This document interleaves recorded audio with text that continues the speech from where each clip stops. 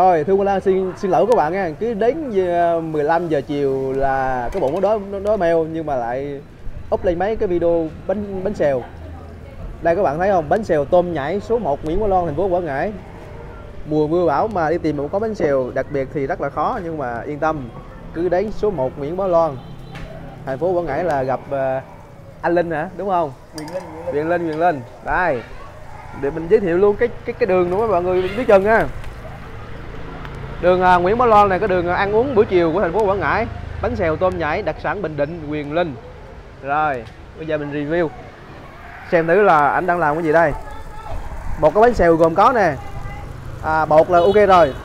À, thịt bò tôm một cái trứng cút giá à, đó là nguyên liệu nè.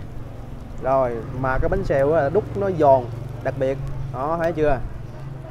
Ừm, bình thường là 8 ngàn cái đặc biệt là đặc biệt là 9 ngàn hả anh? 10 ngàn đúng rồi. Bình thường là 8 ngàn cái đặc biệt là à, 10 ngàn cái. Một người ăn hai cái coi như là no tới chiều luôn. Đó đó thấy chưa? Thấy mấy cái bánh xèo nó sắp xếp dễ thương như này. Một hai ba bốn. Bánh xèo bình thường là 8 ngàn cái đặc biệt là 10 ngàn cái.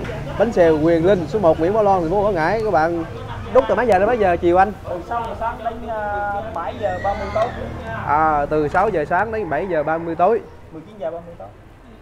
rồi từ từ sáng tới chiều luôn. Ăn giờ nào cũng có. Ship tận nơi luôn hả? Tận nơi buổi trưa. À ship tận nơi. Số điện thoại ship này 0967345474 rồi mà nếu mà anh Quyền Linh anh bận thì Thương Hoa Lan ship giùm cho.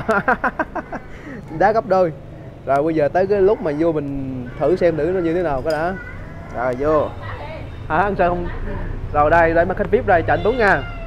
Rồi. Ơi à, giờ quay giùm tôi tôi tôi tôi, tôi ăn thử thử như thế nào. Đây bây giờ ăn thử các bạn. À, đây rau. À, rau nè xong rồi tới ờ, dưa leo. Bỏ mua một miếng. Đó. Chúng ta thấy cái độ giòn của nó đó không? Giòn nè. Giòn của nó nè cuốn bánh tráng nè.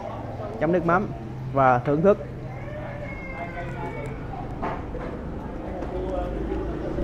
Uhm. giòn vừa miệng. Đặc biệt.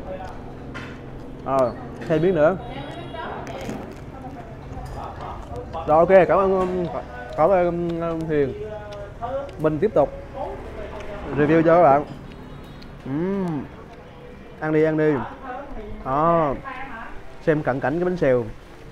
Đã đời chưa? Rồi xin kết thúc video ở đây nha. Bạn nào muốn ăn bánh xèo tôm nhảy quyền linh thì xuống 01 Nguyễn Bá Loan. Và nếu bạn không biết đường thì gọi gọi điện cho Thương Hoa Lan. Ok xin chào.